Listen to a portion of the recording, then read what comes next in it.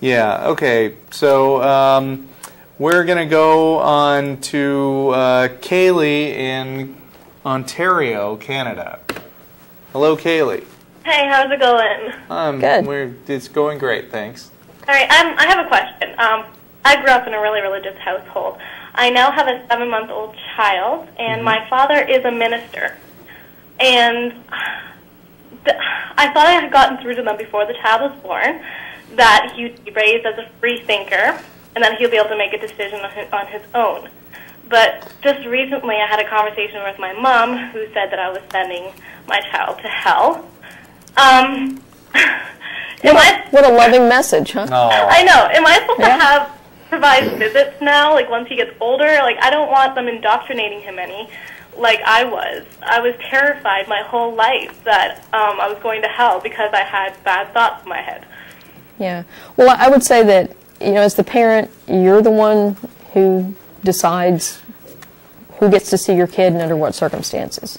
Well, I know Um, have have his grandparents. Yeah, and, and, and that was going to be my second comment is that, um, you know, I, I was facing the same issue before my father's death. And, and actually, you know, my stepmother is still alive and she's since remarried.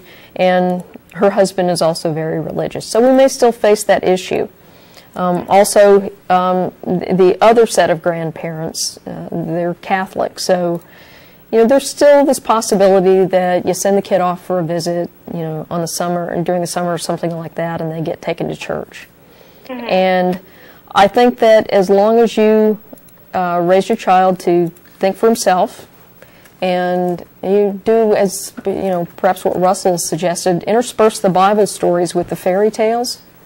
So you get all the fairy tales, and, and then they'll just think of the Bible stories as the really boring fairy tales. um, I, I think that y- you know y- he'll probably be okay.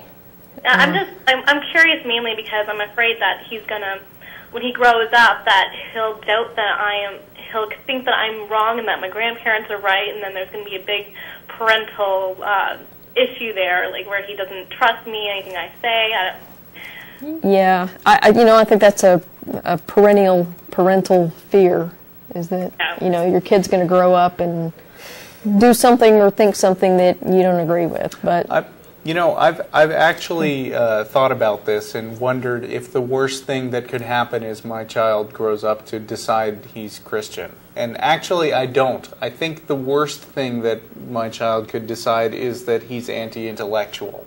I mean, that he grows up sort of not reading, not considering things in a skeptical fashion in general, and I recognize that it's possible for people to be reasonable and Christian and disagree with me. Uh, and, you know, I think I would rather have somebody who is smart and thoughtful and rejects atheism than somebody who is atheist and sort of dull.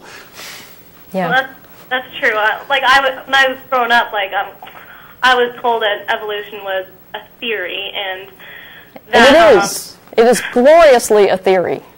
yeah, like I was, I was basically creationism was the only way, and it was absolute truth. And so when I asked questions like, "Why is the grass green?" My parents would say, "Because God painted it green." So I've had to pretty much With relearn- chlorophyll. and uh, I guess it's just it's, it's, it's a thought that terrifies me that my child's gonna come back dumber after visiting grandma. uh, I was just wondering what your thought about what that was. Well, you know what? I I, I think you're going to do just fine. I, I think as a parent, you really have more influence than anybody else. Yeah. And so, you know, you've got to extend a certain amount of trust to your kid. Uh, All right, thank you. And, and just treat them as a reasonable person. Yeah, thank you. Thanks for calling. Thanks. All right, bye.